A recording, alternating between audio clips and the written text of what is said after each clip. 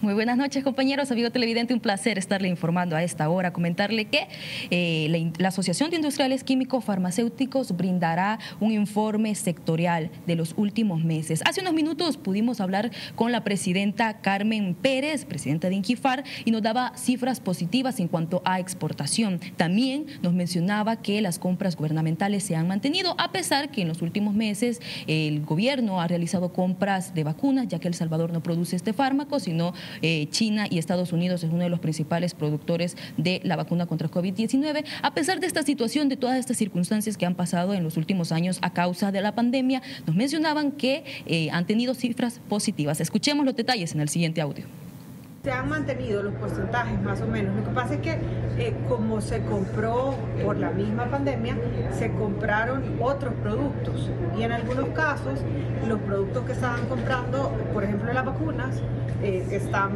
no hay una producción local o en casos de, de, medicamentos que tienen patente no podemos entrar nosotros a producir. Entonces eso, la pandemia de verdad distorsiona mucho algunos datos, pero lo que está, lo, que está es la participación nuestra.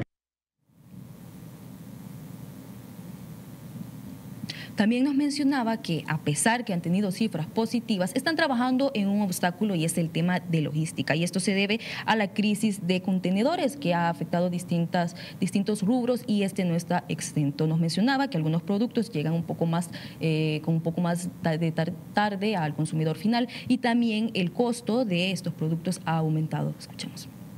Mire, la situación mundial no, no es fácil, pues. Eh, no nos podemos excluir, seguimos siendo un sector industrial que nuestras materias primas vienen de fuera y la crisis de los contenedores no ha sido superada.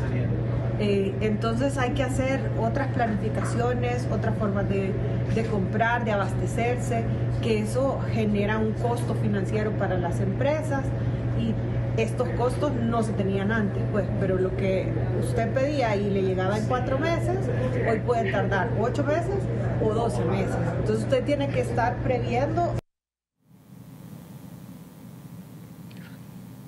La presentación del informe sectorial está en desarrollo en estos momentos. Hasta este instante, hasta este, momento de la noche, comentarles que esos son los detalles que tengo para compartir con ustedes, pero en la siguiente emisión de Teleprensa le brindaremos el informe completo. Regreso a señal de estudio, compañeros.